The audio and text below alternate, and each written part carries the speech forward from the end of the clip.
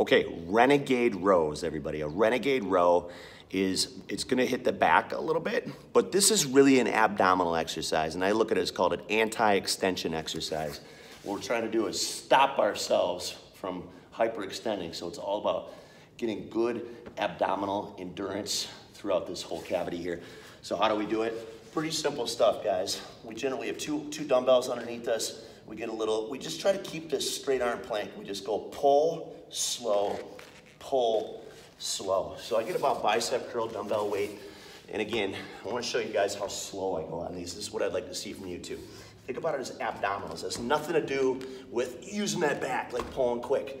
I'm thinking, how long can I keep this great plank position with my one arm off the ground? Squeeze. Okay, abs tight, pull, squeeze. Good, abs tight, pull, squeeze. Okay, so just doing those few, you definitely feel it.